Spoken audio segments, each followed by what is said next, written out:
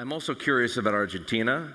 As I understand things, there was a point in the past when you looked at Argentina, but, but decided no. Politics were obviously pretty chaotic for quite a long time in Argentina, and the economy was incredibly unstable. Has President Milei done enough to make you take another look at Argentina?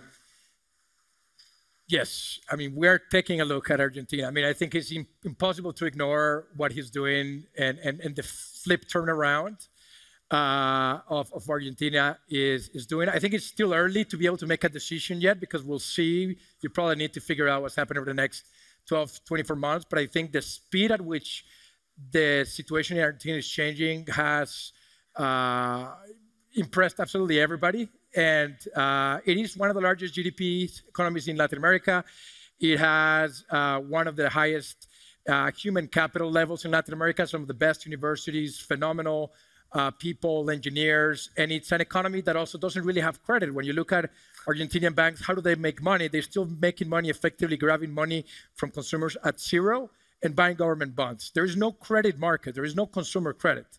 So it is in, in a, in a well-performing economy you would imagine that that entire market needs to exist at some point.